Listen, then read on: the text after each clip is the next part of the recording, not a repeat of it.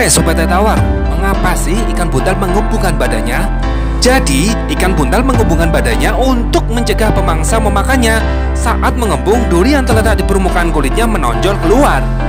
Hal ini menjadikan ikan buntal menjadi makanan yang sangat tidak menarik. Saat akan mengembang, ikan buntal memompa air laut dengan cepat ke dalam perutnya. Tulang panjang Yodon holacanthus pada ikan buntal juga telah mengalami perubahan Perubahan fungsi pencernaannya menjadi mengembang dan elastis sehingga memungkinkan bagian perutnya membesar.